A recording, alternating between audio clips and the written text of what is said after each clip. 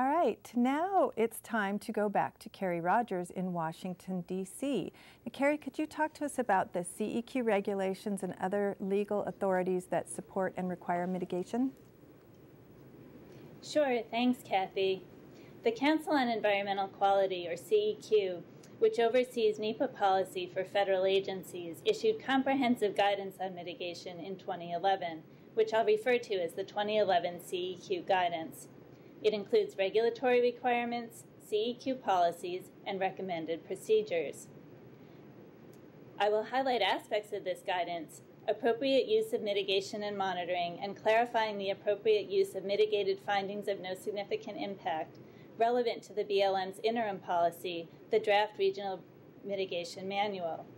I also will point out topics that the CEQ guidance addresses. I encourage you to consult this guidance as you consider opportunities for regional or on site mitigation. It is available at the website shown on the screen. Mitigation is integral to one of NEPA's goals, namely promoting efforts which will prevent or eliminate damage to the environment. CEQ regulations direct federal agencies to use the NEPA process to identify and assess the reasonable alternatives to proposed actions that will avoid or minimize their adverse effects on the quality of the human environment.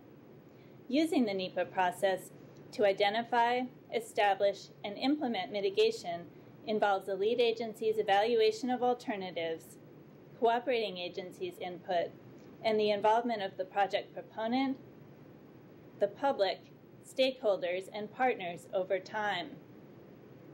The, 20, the 2011 CEQ guidance discusses three ways mitigation may be evaluated in NEPA documents.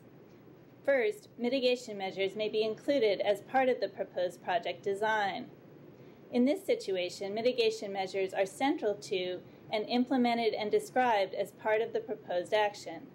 Now, as Gloria explained, the BLM refers to these as design features. Second, mitigation measures must be included in the alternatives analysis. CEQ regulations require agencies to include appropriate mitigation measures not already included in the proposed action or alternatives when preparing an EIS.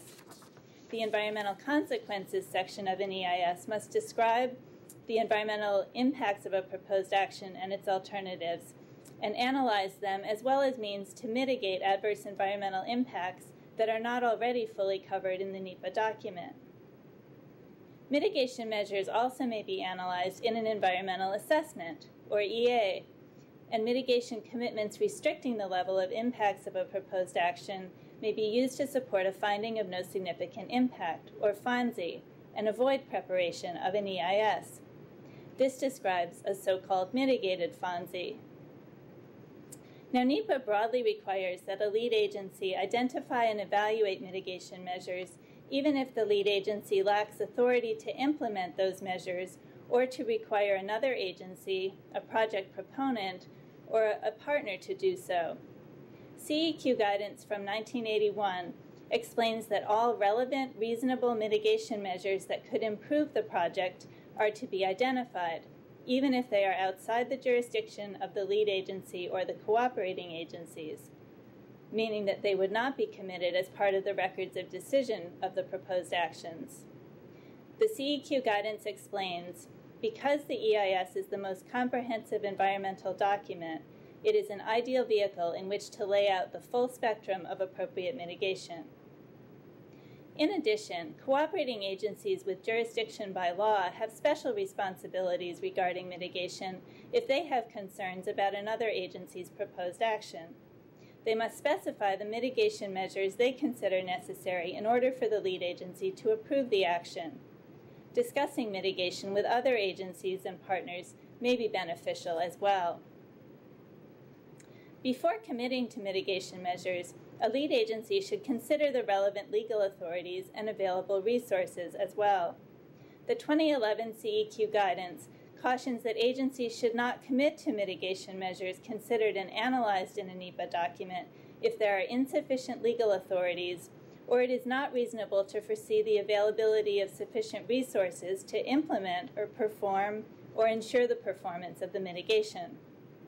Typically, the BLM's authority to require or implement mitigation itself stems from the Federal Land Policy and Management Act, or FLPMA, or another statute besides NEPA itself. NEPA outlines the procedures for the BLM and other agencies to use to identify appropriate mitigation.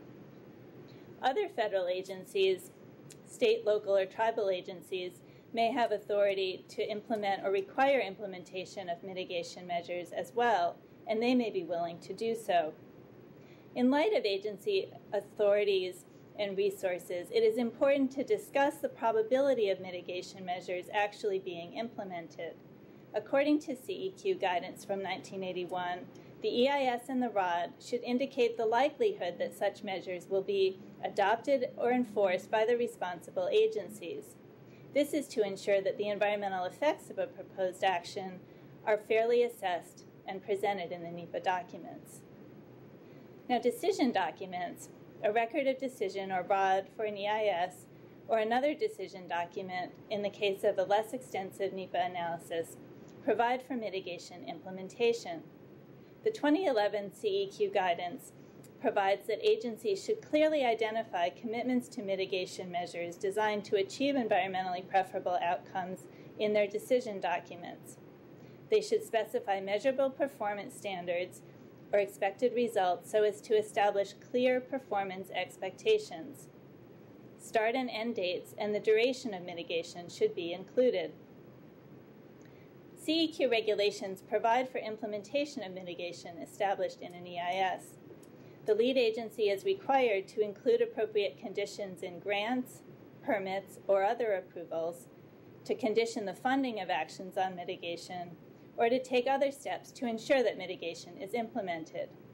The 2011 CEQ guidance extends these expectations to EAs as well as EISs. Finally, the CEQ framework addresses monitoring. CEQ regulations state that agencies may provide for monitoring to assure that their decisions are carried out and should do so in important cases. The 2011 CEQ guidance offers examples of factors agencies can use to evaluate the importance of monitoring um, with respect to mitigation.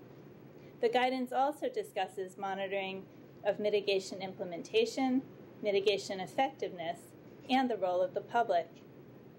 Lastly, the 2011 CEQ guidance addresses options for addressing mitigation that proves ineffective or is simply not implemented.